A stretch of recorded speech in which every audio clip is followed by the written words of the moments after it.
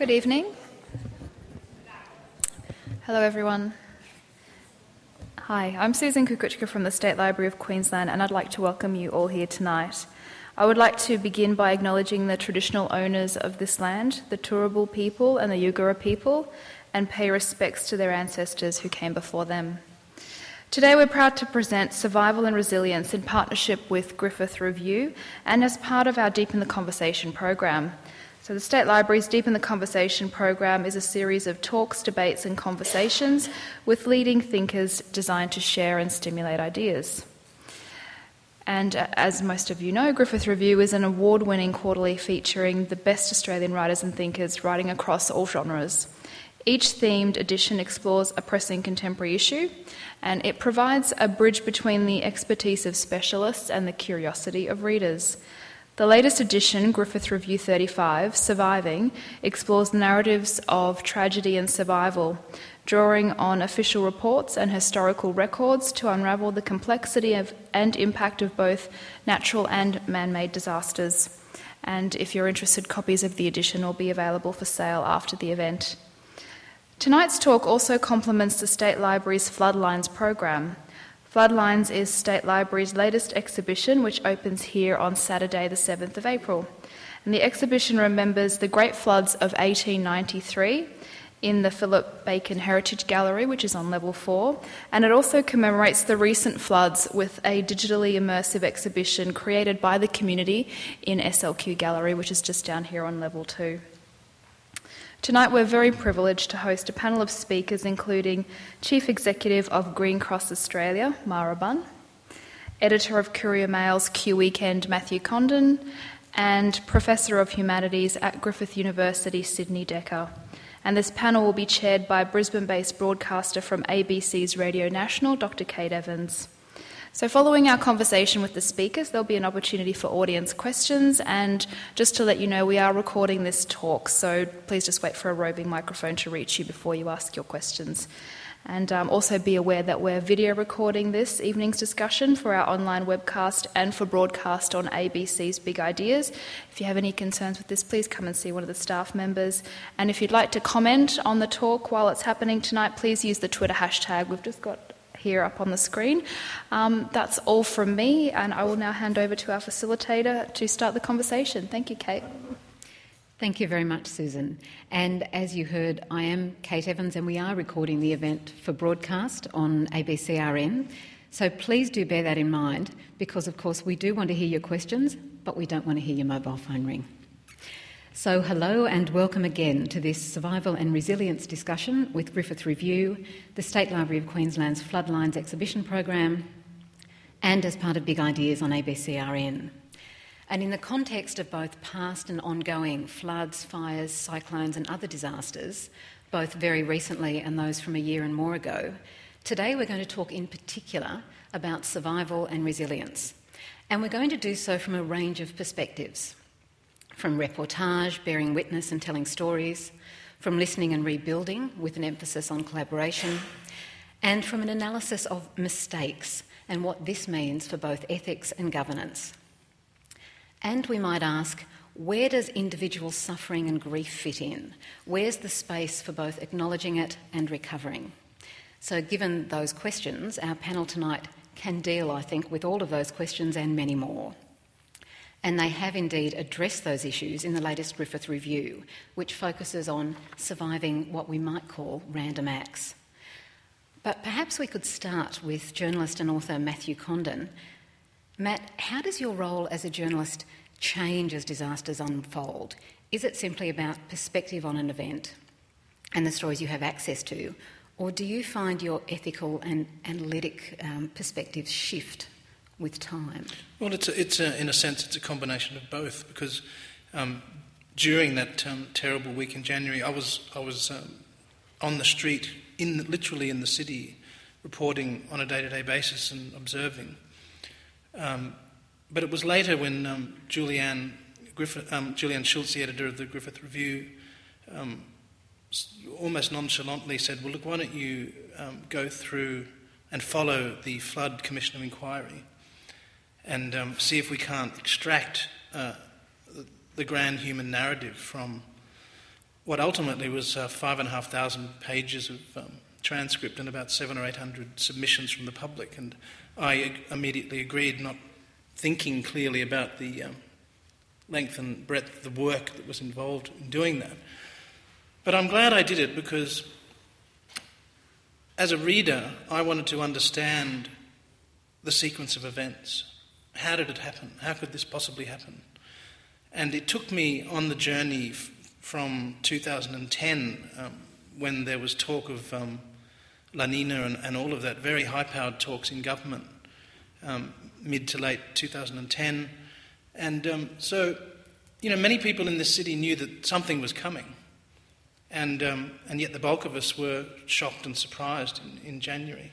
So there was a disconnect, in a sense, of, if you look in hindsight, of, of how government um, um, addressed this uh, growing scenario to us, and how, or more, more to the point, how they didn't. And I think the Commission of Inquiry, in its final um, extended period, highlighted that um, the average uh, member of the public was not necessarily taken into the confidence of government on something that was so vital and crucial and is still having an impact on us today.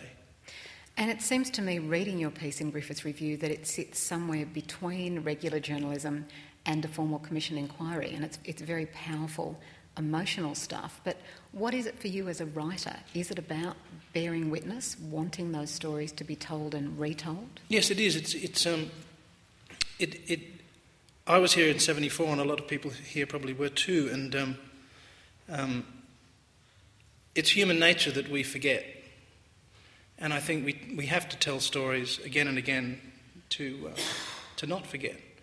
And I felt it was my responsibility, in a sense, too, to do a piece like this um, so that it keeps the story alive, you know, in, in that human sense. I mean, the Commission of Inquiry transcripts, uh, uh, a lot of them are fantastically dull and um, full of legalese and banter and debate and, and um, engineer speak and dam levels and how dams operate. And, but I knew that inside there were the human, the great was the great human drama, and I've literally only touched on it in that in the essay that I've done. Um, but it was enough. It struck home for me, and I, there's a book there, but I wouldn't want to, want to write that book because um, um, there's some painful stuff in there. But I wanted to reveal the human story, essentially. So, Mara Bun, then, as Chief Executives of Green Cross Australia, what does story gathering mean to you? I imagine it means something different. Is it about consultation, acknowledging loss, or is it always about what comes next? I think all of the above. Um, it was interesting uh, when the events unfolded uh, Green Cross had received a grant from the Natural Disaster Resilience Program to build a portal for Queensland that captured the history of 150 years of severe weather. Uh, and that's now live. It's called uh, hardenup.org, Protecting Queensland. And in that history, we trawled through the Bureau of Meteorology's archives, looking at the 1863 flood, the 1974 flood. In fact, we have 3,262 events going back 150 years. So there are lots of stories in those. And um, I guess guided by some of the senior uh, meteorologists and retired meteorologists who have spent a lot of time trying to understand the history of weather, um, I guess the story that really connected with me the most, um, talking to Jeff Callaghan, the retired uh, senior forecaster who guided this project, his reflection was that um, in actual fact, the 20th century has been a very quiet period in terms of severe weather compared to the century before. And many people felt that since 2004, that was reverting. So, um, you know, all kinds of discussions about the gradual impacts of climate change and how that plays out against severe weather trends. But going back to the pure cyclical nature of severe weather, just understanding that those stories from history were now coming alive against a cycle which could be much more severe.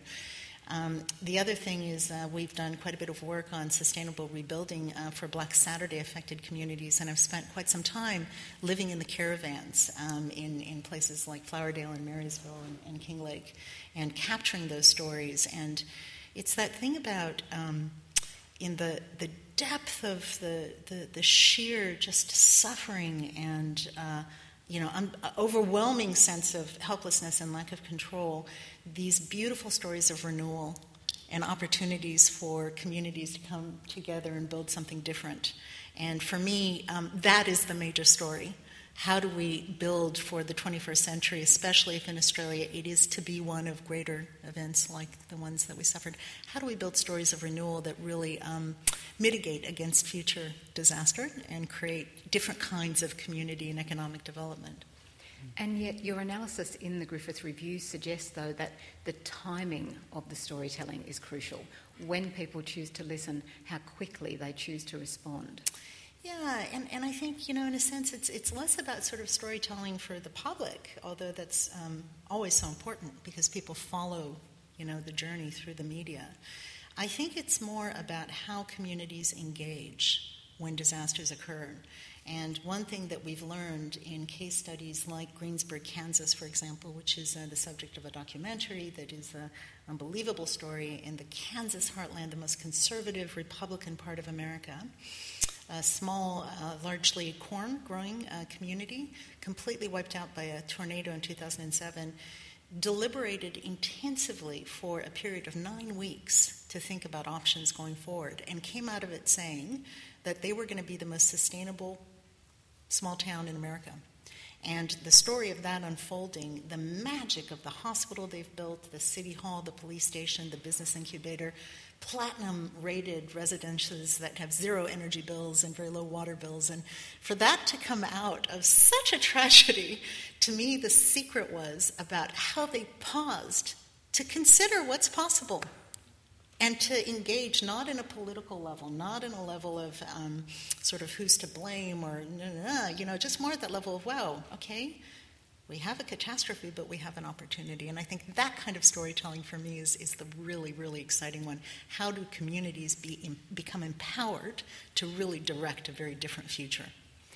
But Sidney Dekker, you, it seems to me, have made a career of finding out who's to blame, of looking at disasters and examining mistakes, finding errors, systemic failures. Is that what storytelling allows for you about finding gaps in the narratives, finding where things went wrong, how things might be done better?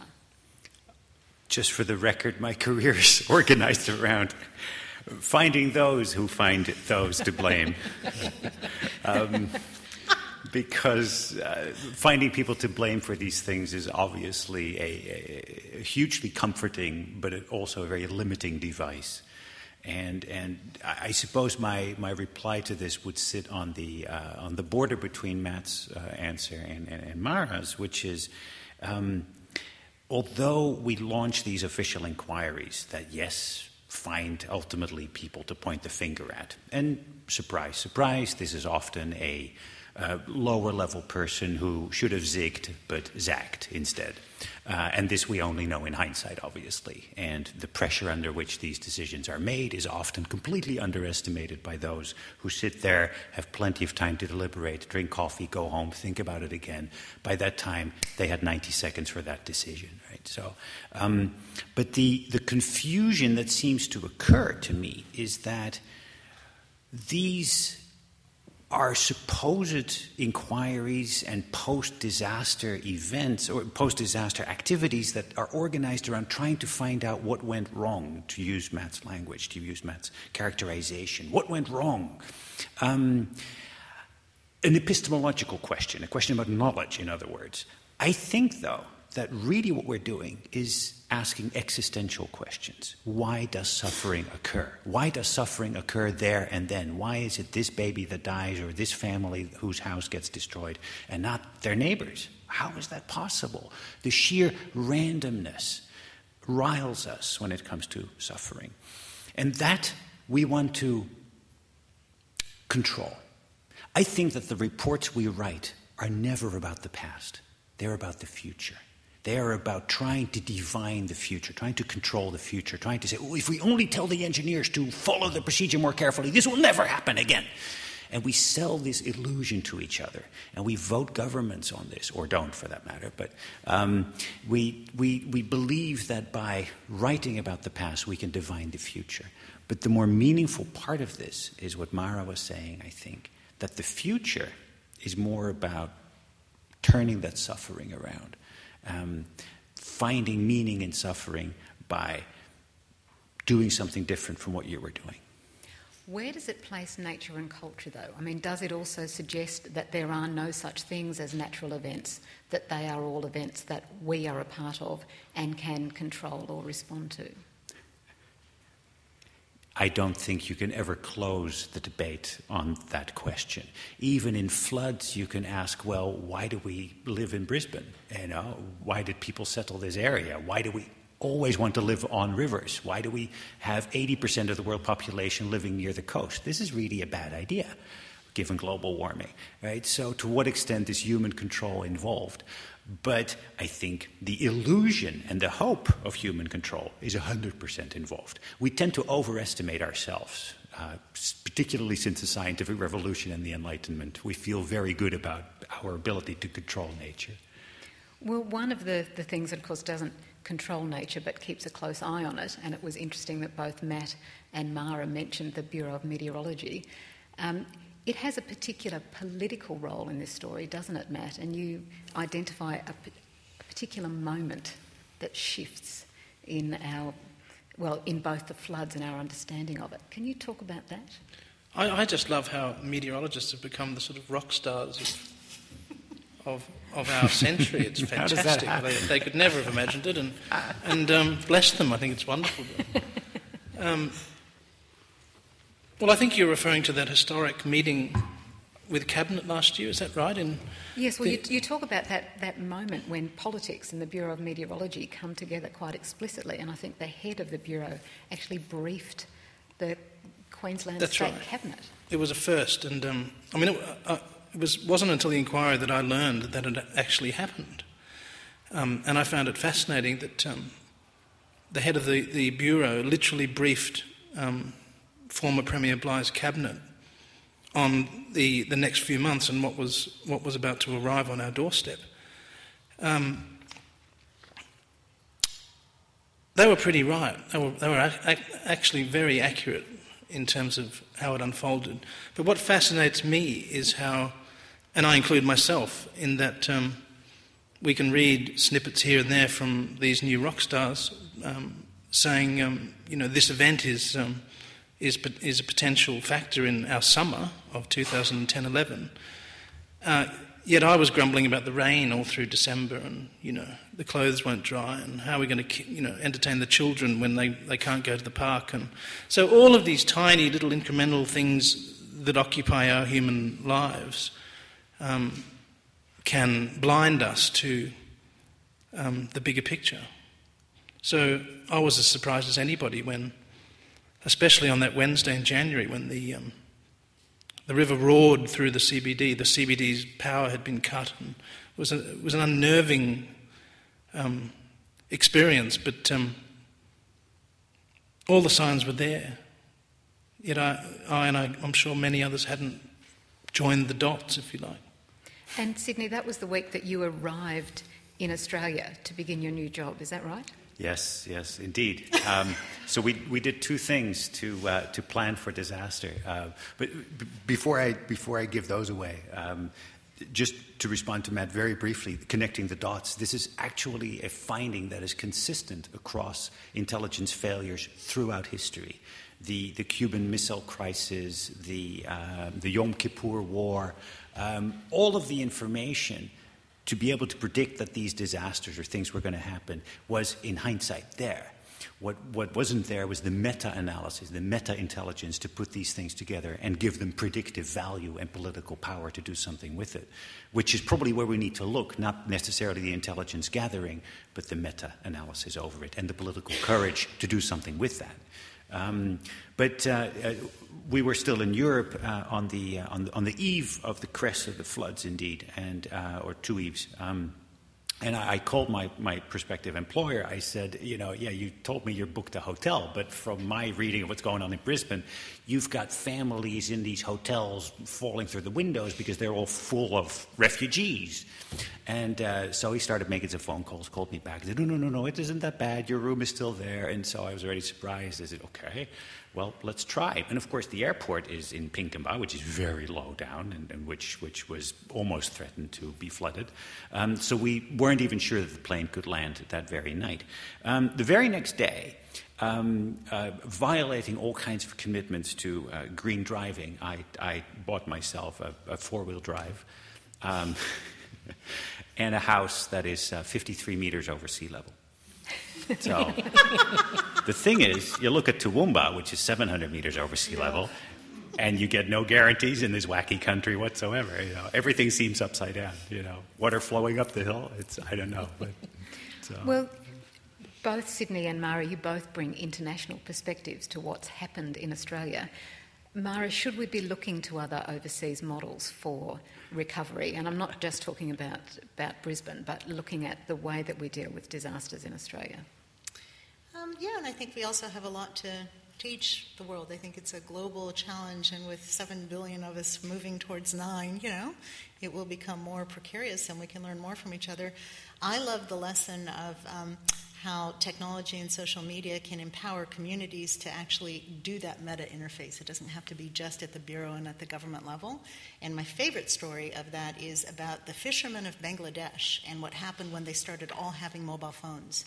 And quickly they began to understand they'd take them out to sea and they could see when the storm surge was coming and when the big storms were coming. And they would share that community that knowledge in a very viral way. And in the deltas, particularly where the mangrove systems have been eroded, they would quickly move, you know, to other places. And I think um, one of the challenges that we have in um, this, uh, this, this, this equation of you know more people in vulnerable areas with more events, and oh my goodness, what do we do? It's almost like we have to turn on its head a paradigm which is so familiar, right? And the paradigm is um, someone will be there to take care of you. The government, the police, the SES, the Red Cross, someone will be there to take care of you. And we run elections, um, you know, quite rightfully saying we're going to hire more of these people who are going to be there. Trust us, we will be there to take care of you. And the grim reality is no one will be there in the first 72 hours if it is a major event, and in some cases, much longer than that. And so, who will be there is us. And it's us as individuals, it's with our children and our pets, it's with our neighbors and our communities. And so, how do we then, in a sense, encourage governments to step back and empower the community to step up? So we stop becoming brain dead thinking about pizza when it's raining and understanding that we are up for a major event. And I, I, I want to be clear here because, um, you know, there is the kind of a seasonal thing. It's a big La Nina. We can see the ocean temperatures. It's about to happen. And then there is the slower playing urgency. And here's one that I'm very concerned about. If you talk to Roger Tomlinson, who's an engineer with Griffith University in the Climate Change Adaptation Center, um, he understands uh, Southeast Queensland's coast extremely well. He's been working in this area for many decades. And he will tell you that in the records, going back even into the paleontology records, there is a major weather event every 30 to 40 years. And uh, I live in the hinterland behind the Gold Coast, right? We haven't had one since the late 60s. There were three cyclones that veered close with a major East Coast low in the middle in 1967. For people that were around at that time, the police, the uh, guard came out. They were out there for three weeks. The Esplanade went out to sea. Homes were lost. 42,000 people lived on the Gold Coast at that time. There were no canal developments, right? So in Moreton Bay, it's a very shallow water environment. And when a storm surge builds, it goes over the island and back through the Broadwater and out to sea. In this part of Queensland, we will have a major event at some stage, and we're up for it now. now, how do I talk about that without sounding like a complete lunatic?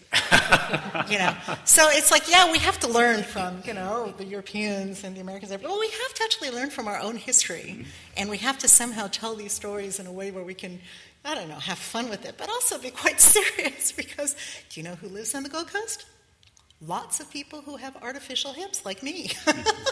a lot of retirees who come from different parts of Australia who don't understand what a major event like that actually is. So it's a, it's a, it's, social media is the most powerful tool that we have for people to share stories. And, uh, and then there are very practical things that we can do to protect our homes, our families, our communities. The Harden Up program is all about that. Volunteering Queensland, Red Cross, many other community groups you know, are involved in this area. And, uh, you know, the fact that the police service and the SES are so advanced in social media now in Queensland is sensational news. It all bodes very well. But we really need to wake up. We live. I think the Gold Coast should have an artificial hip emergency response team, choppers, and especially for the Gold Coast. I was, uh, I was born in Amsterdam, which of course is essentially below sea level. Um, but the Dutch had their, had their, their worst flood in 1953, uh, the most recent worst flood. Uh, and, and since then, they've been building their way out of the problem. Um, so the Dutch an- answer would be better engineering. But in some sense, they have, they, it's easy for them to say because the Dutch will never be afflicted by this terrible uh, conundrum posed in Australia. You know, do you want drinking water or do you want your city flooded? You know, which will it be, pest or cholera? There's plenty of water in the Netherlands. You know, maybe a bit filthy because it comes dribbling down the Rhine from Germany, but you know, basically there's water to drink, right? Whereas here, you know, for eight years, things started looking uh, pretty dismal, right? And, and so you're caught in this terrible double bind in terms of policy making, governance, where to put the threshold. And of course, in hindsight, you're always wrong. Whatever you do, you can't win on that decision. Can, can I jump in there be incredibly rude? I, you know, I, I, I, I know, oh my goodness, she's going to talk about climate change. Ah! Those words. Um, uh, the latest CSIRO research indicates that 42% of Australians do not believe that climate change is the fundamental driver uh, in terms of human induced factors. So I'm very mindful that many people in the audience just don't buy that, and that's fine. But uh, we are very informed by the science and very concerned by the risks that are presented. And in communicating those risks, here's the pickle, right? It's about variability and uncertainty. Mm. And if you look at the record annually of rainfall and temperature in different parts of Queensland, what you find is we go El Nino, El Nino, El Nino, less rainfall, La Nina. El Nino, El Nino, La Nina. But the trend of that variation is gradually up on temperature, and in most of Queensland, gradually down, down on, rainfall, rainfall yep. but in some parts up as well. So we have to get our heads around in Brisbane becoming the world's best water saving, not washing our car, drought busting, you know, sort of community. And then all of a sudden having mass amounts of water on a, a parched land. And how challenging is that? Mm. But also, how challenging is the politics of it? And given that the, um, the sort of the ghost flood that lay behind what happened last year in Brisbane was here at least 1974 and then 1893.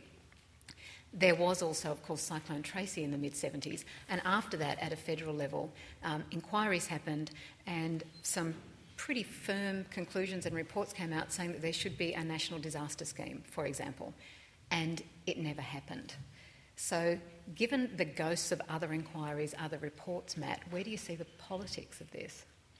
Well, firstly, um, the question of drawing down Wivenhoe to 75% was um, not mooted but put to the minister at the time, Stephen Robertson, in October, November of 2010.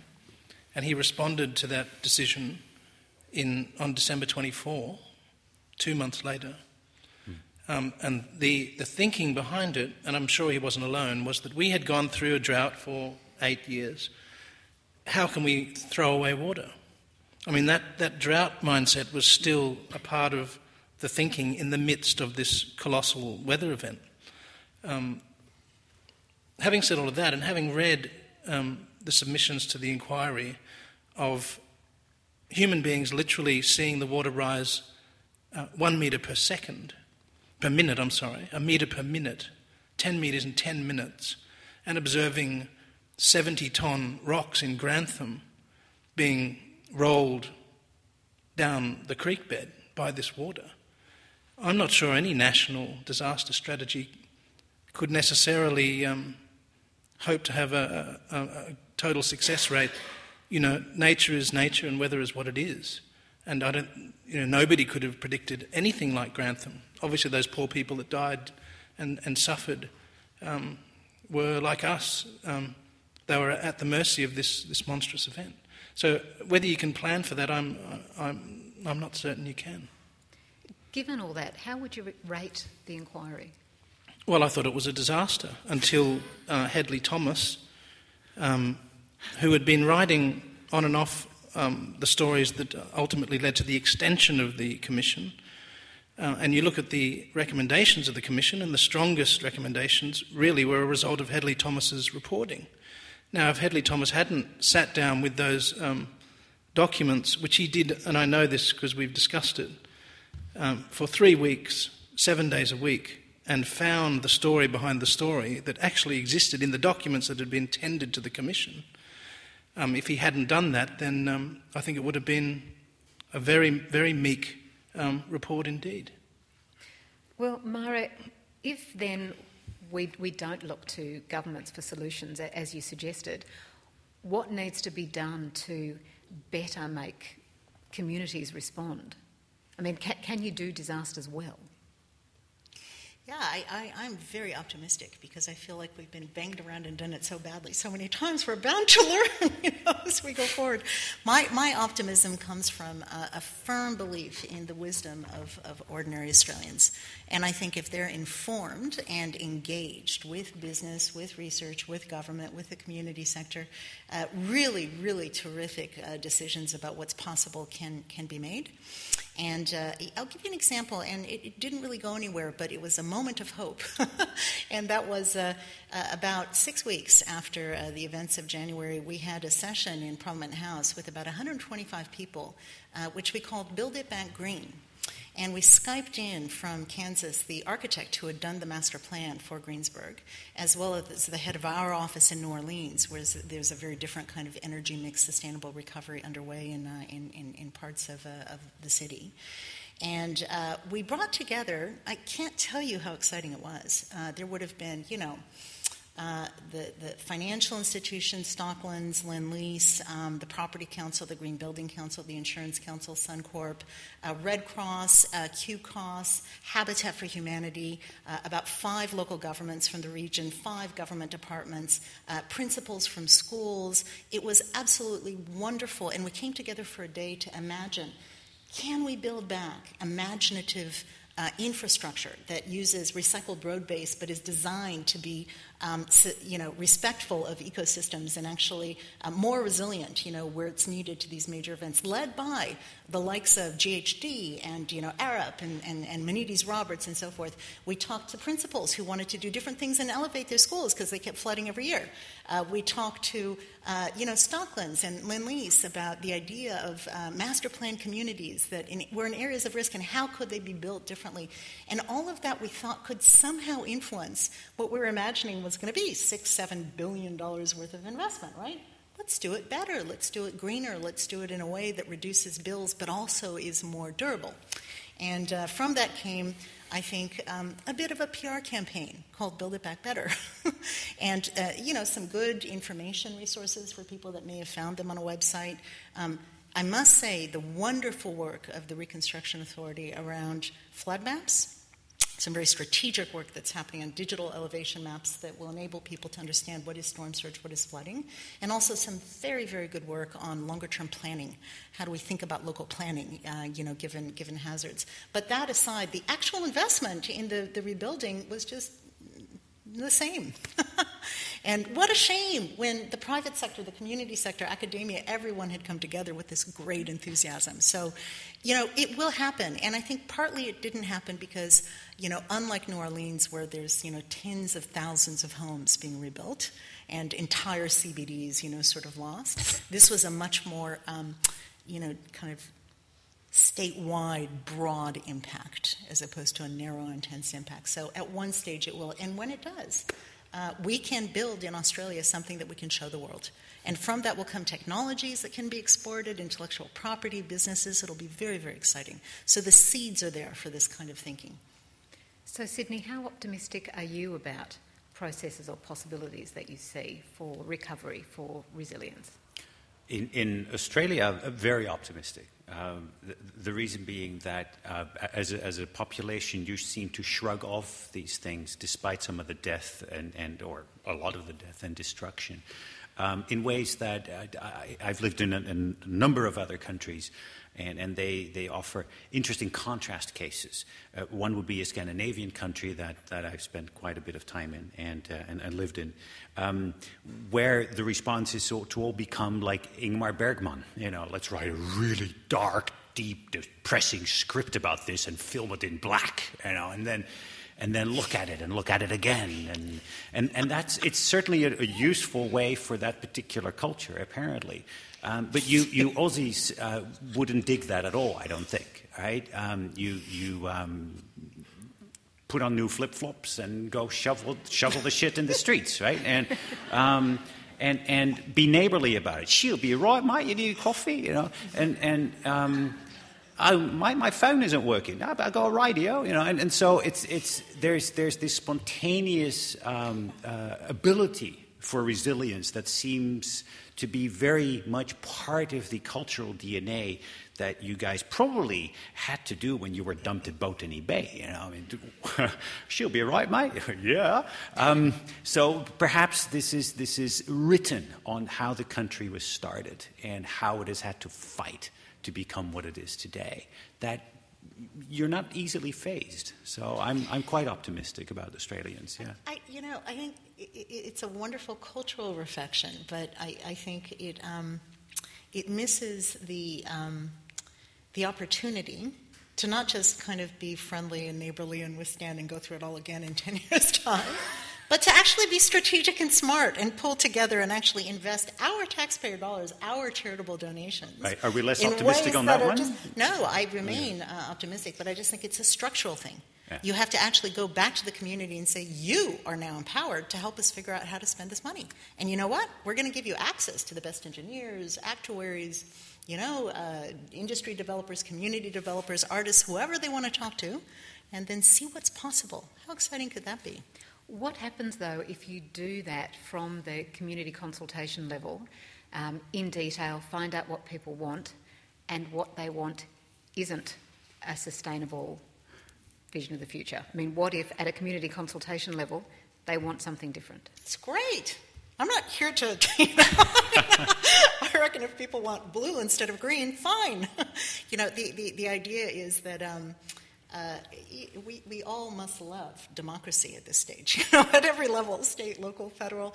Um, we, we need new models of democracy that somehow, through this complexity, allow ordinary people to make decisions in a meaningful way. And so it, it, it doesn't mean that um, I know what the answers are or that anyone knows what the answers are, but it's interesting. If people are clear that there are trade offs, between you know water and safety, between food and energy, between all of these complex things, they can help navigate those trade-offs. You know, we're not mugs. Um, so, but consultation is one thing. Real deliberation and empowering people to actually make decisions, that's something else. And uh, I'm excited. I totally share your optimism, but I think my children have a better chance of getting a new play park at Milton which is still fenced off, than a new model for democracy. but um, you cynic. um, I agree with you, but I think that's a, that's a, a long road. Did you know? Here's a funny story.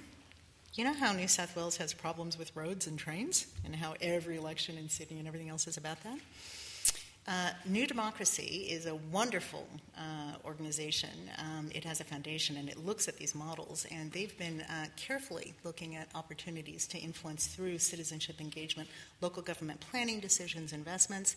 Nick Greiner, who's very involved in that foundation, also is now responsible for infrastructure in New South Wales. And you know what? They're going to start taking those decisions to the people actually look at infrastructure, roads, and so forth. It's such a powerful model. It makes so much sense. Mm. But I, I think you're right. We've, your kids are looking at a place probably quicker. But unless we start talking about this in the context of these events, then we're never going to get there. The, and when, uh, sorry, go ahead, Kate. And I'm just wondering, Matt, when those questions and story opportunities come back to the people who've been affected, are we hearing all the stories? Is there are there groups that are silenced by this? Well, I got an email from a, um, an, a friend at University of Queensland just two days ago. He said, I would like to be at your session, but I'm, I'm busy, but could you talk about this? And he had been affected personally in the flood. His, his house had been flooded, and he's been in a 12 month battle with the, with the insurance company. And um, he's, he's talked to a lot of people and developed, and, and, and developed what he believes is, has the data for what he believes is a scandal and, and that's just one little side of this whole scenario one year on. My wife is a psychologist, and her specialty is childhood resilience. And the stories that she comes brings home about um, the children of this state a year later, and how um, their fears and, and, and so on are, manifesting themselves now, um, to me is, is an indication potentially that the full impact of our disaster uh, is just starting to be felt. So there are many, many things happening that we're not all cognizant of, if you like. Um, silent things, hidden things that, that, that this event has uh, rippled through. Um, yeah. And that might perhaps underline the question of whether we should be talking about recovery or whether we should be talking about resilience, because they're not necessarily the same thing, are they? They're not the same, no. Recovery seems to suggest sort of the, the, the, the medical model in which you go back to a pre existing level of health uh, and that otherwise things remain the same. Uh, I think that, that significantly misconstrues um, both the psychological, the social, but even the architectural responses after a disaster like this. Resilience means that you are able to respond to and adapt and absorb the challenges that put you outside of what you were used to or what you thought you could handle. And as a result, you come out differently. We have a different configuration of your social environment, your built environment, your psychological makeup. And what is interesting, and, and, and Matt's wife certainly must see this as well, is of course the question how do some people, some communities, adapt very well to this, like Greenberg, Greensburg? in, in Kansas? And, and how do some people or communities adapt less well? What is it that accounts for these differences? I think the science on that is only just starting to give us some clues, not even answers. Well, that actually seems like a good point to turn to you as an audience um, and to hear comments or questions from you. But first of all, I'll remind you that with us today is Mara Bun, Chief Executive of Green Cross Australia, Professor Sidney Dekker from Griffith University School of Humanities and an expert on system failure and governance, and Matt Condon, journalist, editor of Q Weekend, and an author with many books to his name. All three, of course, have written for the latest issue of Griffith Review. But now would be a good time to hear from you in the audience, and I imagine we might get some, some light so I can actually see who, um, who has a question or a comment there.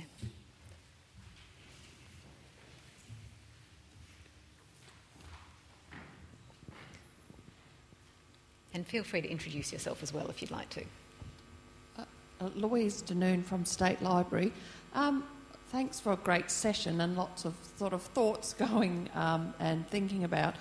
Uh, one of them is uh, last week there was a session here on disaster preparedness for libraries nationally, and we had people from New Zealand as well as people talking here.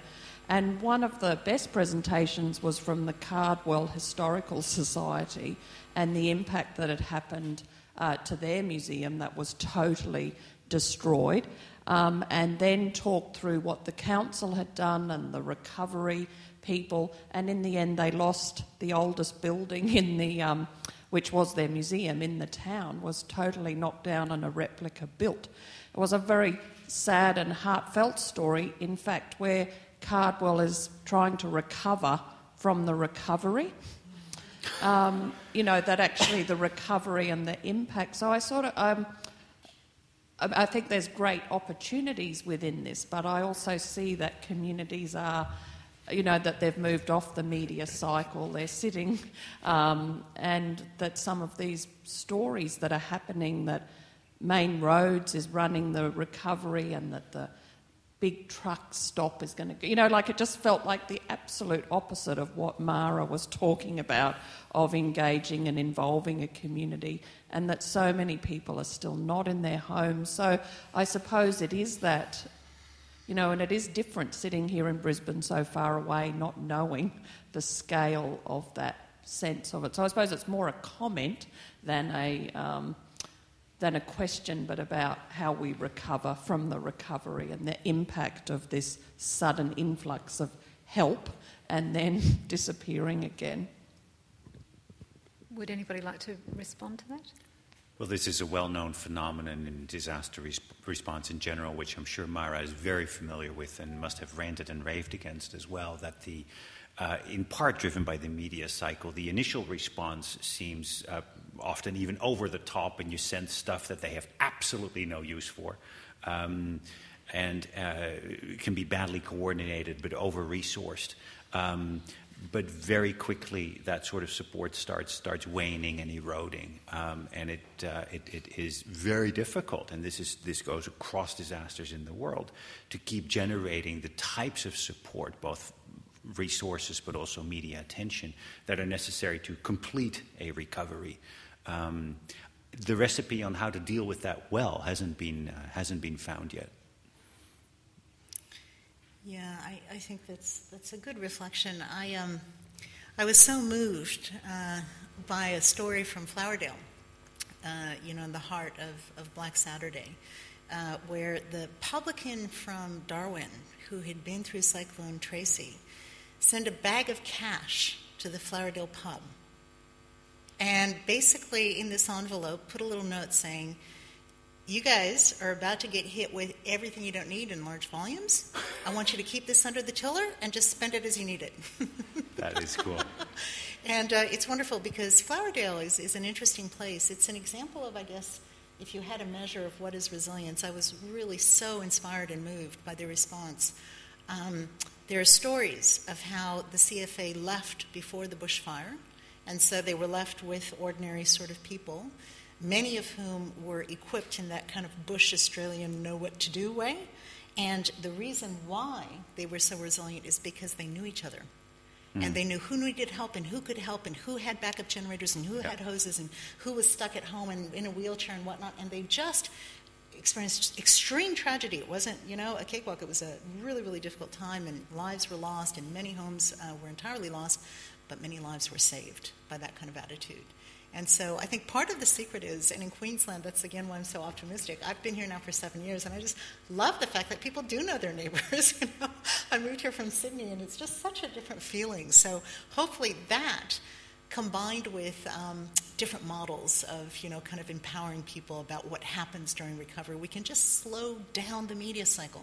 Doesn't have to happen in the first week, you know? We have to think and feel and come together in the first several months and then wonderful things can come. Um, your, Louise, your comment, um, and excuse the simplicity of this analogy, but it reminded me of a friend last year whose marriage dissolved.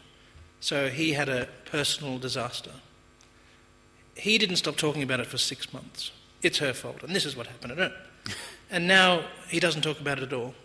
He's moved on and he's living his life. And maybe, in a sense, that's what human beings do. Um, and maybe communities en masse do that too.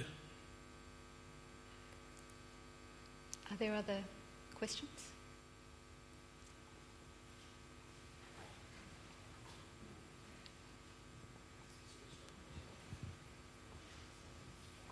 We're, we're obviously dealing with an extremely complex topic, and you can handle it on many levels, and you've got many objectives just thinking about two of the things associated with survival and resilience.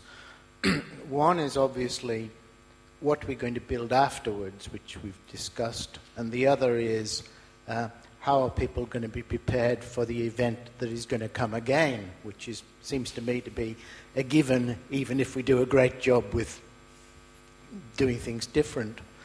What's exercising my mind is the changes that have occurred in our society in the last 20 or 30 years in terms of, because to achieve some of those objectives, you need to move away from an individual focus and a focus on yourself.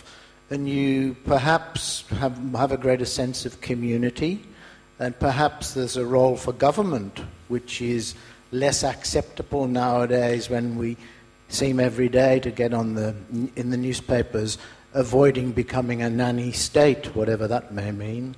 So I think there's a lot of conundrums in there in terms of what we need to achieve those two objectives that I've focused on and the changes in our society which may help or impede that. So I wonder whether you'd like to make any comments about those. I was, um, uh, if I may, I was thinking about um, uh, the, the, gentleman's point, actually, without him having made it yet, uh, but when, when Mara uh, laid out her appeal to, uh, to people that for the first 72 hours, when this hits you, you're going to be on your own.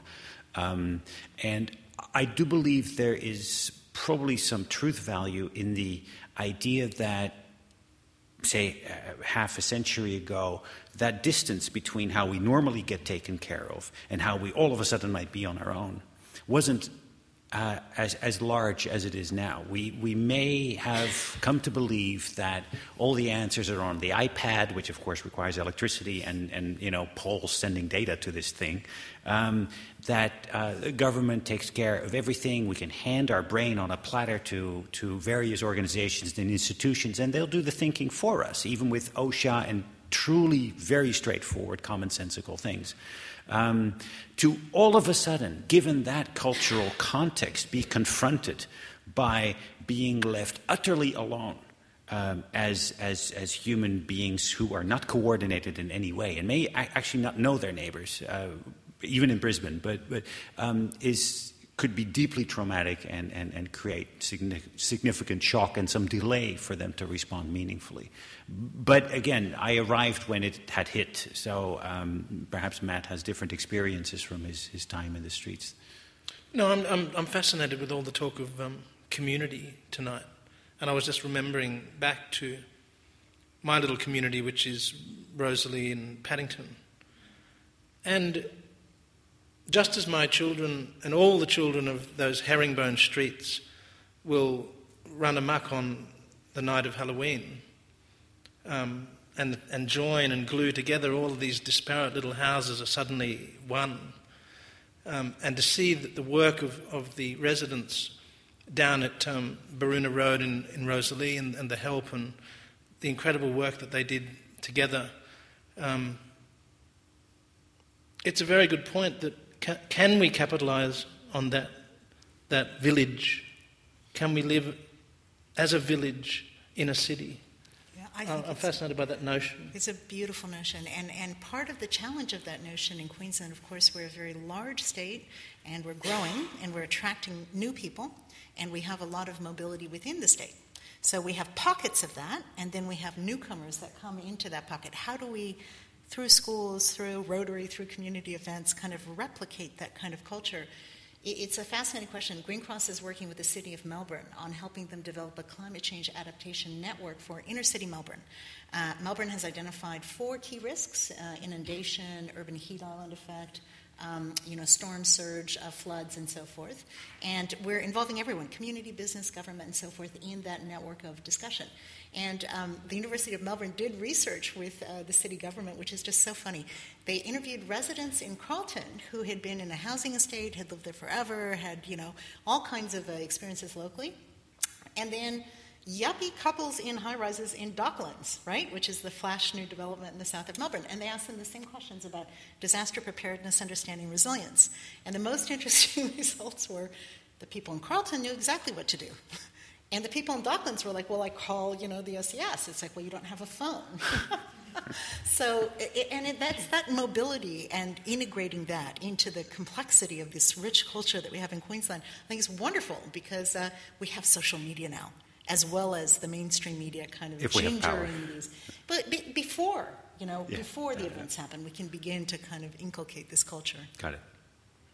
But do we have to attend street parties? That would be my question. now, we have um, probably time only for one more. Um, I'm interested to get your impressions on the idea of spontaneous volunteering. Um, so you've talked about that optimism in the first 72 hours where communities are sort of, you know, it's them, it's up to them. Um, and the way that that is getting almost institutionalized and controlled. Um, in a positive way, obviously, in many cases, um, particularly in areas sort of outside of metropolitan areas um, where those systems, you know, are already very strong, and um, I guess the effect on organisations like Volunteering Queensland who are coming in and, and working with that. I'll, I'll, have a go at that. Um, I, I, I, think uh, Volunteering Queensland uh, has much to teach the rest of the country and really the rest of the world. Um, you know, in terms of the events of, of last year and that mass uh, group of volunteers, um, there's, there's, there's two underlying challenges. Uh, one is at the same time as we need to find a structure in this world of liability and clear definition and so forth, you know, we have to find a structure for people to spontaneously come forward when they may not be qualified, they may not, you know, have a driver's license or know how to do first aid when they offer it and so forth. Um, but on the other hand, we also have to find ways to rejuvenate and restructure in somehow the flexibility of our official emergency response volunteering agencies because they also, the Red Cross, the SES, St. John Ambulance, they also, I think, could greatly benefit from having spontaneous support if it's pre qualified, if there's a system beforehand to funnel through and identify what people can do if they wanted to spontaneously. And this is a major challenge for Australia. We have 500,000 emergency volunteers, and uh, they are what we call the surge capacity in our emergency response system. So they may not be there for 72 hours, but when they come, boy, are we happy that they're there. And the average age is kind of around 50. And for some agencies, the average age is over 60. And I've heard stories uh, from Neil Roberts, you know, the former outgoing emergency uh, response minister, going to Cyclone Larry and being in the plane with SES volunteers, some of whom were popping heart pills. And I've heard stories from CFA volunteers in Black Saturday who could see 70 year old people in their uniforms out there fighting. I mean, we, we have got to rejuvenate that capacity. So somehow we just have to get intelligent about what is the model for volunteering. But it's very exciting because if anyone's going to crack it, it's going to be Queensland. And thank goodness for Volunteering Queensland as, as part of that mix. Well, I should say then, Matthew Condon, Mara Bun, and Sidney Dekker, thank you for joining us on Big Ideas on ABCRN and here at the State Library of Queensland and as part of the Griffith Review Survival and Resilience Edition. I'm Kate Evans, and that's it from us, but we will be hearing again from Susan. Thank you very much, everyone. Thank you so much, Kate. Matthew, Mara, and Sidney. It was wonderful to have you here. And for those of you who have um, not yet had a chance to read um, our speakers' essays, there are some um, editions of Griffith Review for sale outside, so please pick one up. And we've also prepared some further reading notes for you. If you're interested, you can pick up a copy outside. Otherwise, there'll be some available for download from the State Library website, along with a, a podcast of tonight. Uh, it should be up there in the next few days. Um, we invite you all back here again soon to see Floodlines, uh, the exhibition I mentioned earlier. It'll be available for viewing in our two main galleries from April 7th. So, so please do come and, um, and, and witness some of these community stories that we've been collecting. Um, good night, thank you for coming, and we hope to see you all again here soon.